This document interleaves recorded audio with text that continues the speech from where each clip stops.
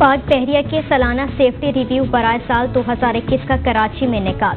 Chief of the naval staff admiral Mohammad Amjad Khan Niazi तकरीब के मेहमान खसूसी थे। सेफ्टी रिव्यू का इनका पाक बहरिया में सेफ्टी से मुतल आगाही और सेफ्टी कल्चर के फरोग के लिए किया जाता है। नेवल चीफ ने पाक बहरिया में अपनाए गए सेफ्टी के असूलों पर इतमान का इशार किया। सेफ्टी रिव्यू के अख्ताम पर नेवल चीफ ने जीतने वाले यूनिट्स में सेफ्टी ट्रॉफीज भी तकसीम की।